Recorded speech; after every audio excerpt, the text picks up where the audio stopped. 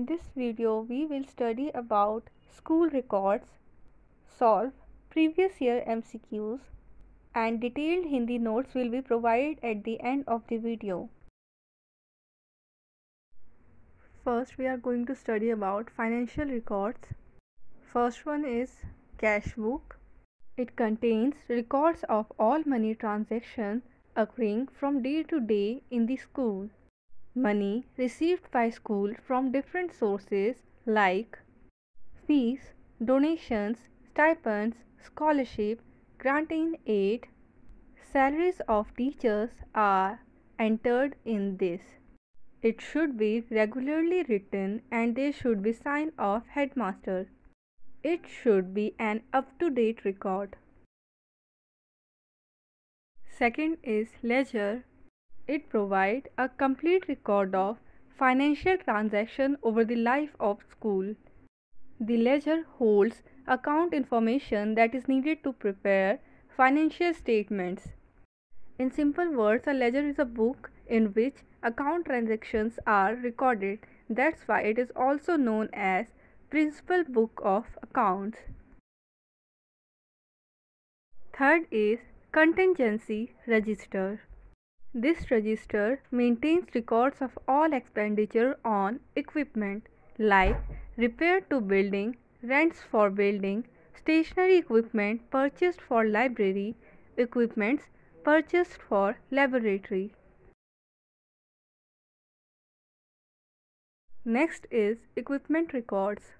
The first one is stock register. This register keeps information of all the movable properties of the school. While purchasing equipment or furniture, it must be duly filled. As well as verification reports should be recorded in the stock register, which shows which equipment article are missing and which needed repairs. Property Register. It maintains a record of all furniture and movable equipments. Whenever an equipment or furniture of a more or less durable type, permanent in nature is purchased by the school, it must be entered in property register.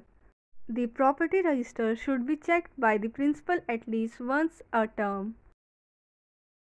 Library register Ideally, there should be three library registers. One will contain detailed information about the books, that is, title, author, date of purchase, receipt, price, serial number, and catalog. Second register should contain a list of books classified according to subjects history, science fiction, or fairy tales. Third register should record details of withdrawal of books including title, date of issue and return. Now it's time for MCQs. Before that, don't forget to like, comment, share and subscribe for more such videos. This is the second part of school records. First part video link is given in description box. First question is which of these is complement of the cash book? Complement means Purak. School calendar or service register comes in general records, whereas property register comes in equipment record. Cash book और ledger दोनों ही financial records में आते हैं. So the right answer is option C, ledger. All items of permanent nature bought and placed in the school are entered in the all items means all equipment of permanent nature स्थायी प्रकृति के अगर school में ये सब चीज़ें खरीदी है तो कौन से रजिस्टर में से भरेंगे?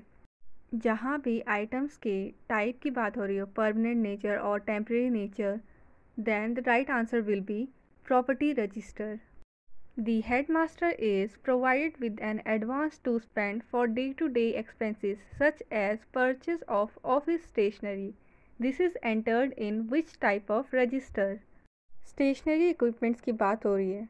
So the correct answer is contingency. Option C. These were previous year MCQs related to this topic. Now it's time for detailed notes in Hindi. If you have any doubts or confusion related to this topic, you can comment.